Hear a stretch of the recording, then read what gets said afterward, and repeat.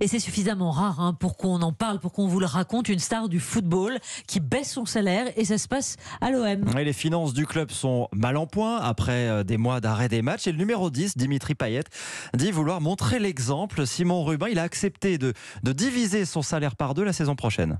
Oui, alors on parle quand même hein, d'un salaire à 500 000 euros, hein, donc divisé par deux, et une autre baisse est même prévue la saison suivante, une hein, baisse de 30%, et puis le joueur renonce également à certaines de ses primes.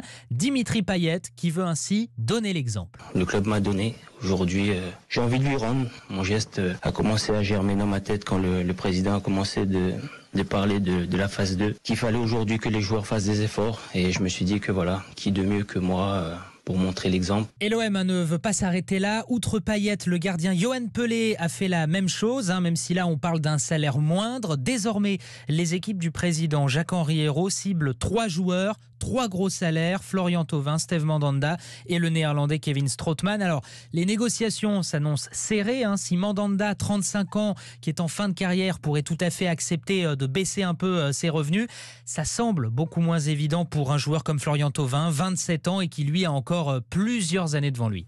Simon Rubin du service des sports, merci. Effectivement, il va lui rester un peu. Oui, ça même va s'il divise par deux. Pour les vacances. Merci beaucoup, Sébastien Krebs.